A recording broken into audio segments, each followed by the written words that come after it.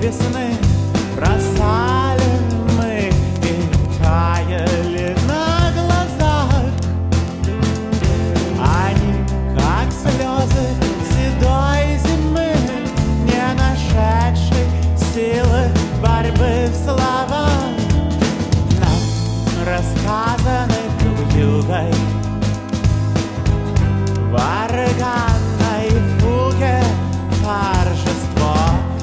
najczerniawszej zjawy.